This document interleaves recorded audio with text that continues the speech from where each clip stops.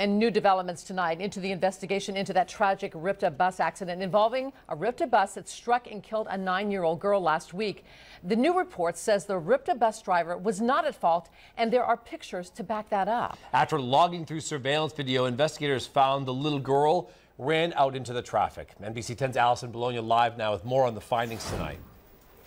Dan, the conclusion right now is that the RIPTA bus that hit that little girl was involved in an accident, so no wrongdoing, and that no laws were broken, no operator error, no mechanical problems with the bus. Yeah, I think we're still um, very sad here. More than a week after a tragic accident in which Ani Emjin was killed, police have released its report. Video from area businesses and dash cams on the bus have been helping in the process. The girl, police say, was crossing the street north towards the gas station when the RIPTA bus hit her.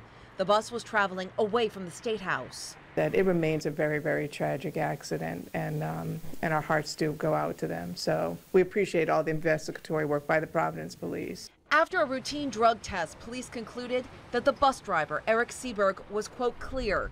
They examined the bus and found no mechanical problems. Accident reconstruction also indicated that the bus was moving below the speed limit on the street at the time of the accident. The conclusion, no operator error.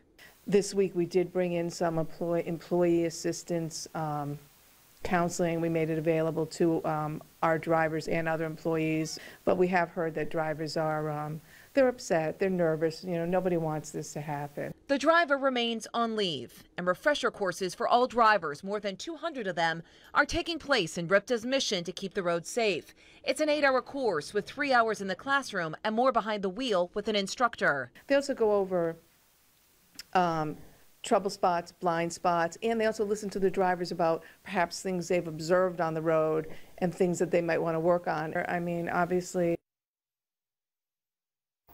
And to recap, that little girl was just nine years old. I did speak off camera with someone who was working at the gas station across the street when this accident happened about the results of this investigation. He was too upset to go on camera about it, saying it's all just so horrific. Allison Bologna, NBC 10 News.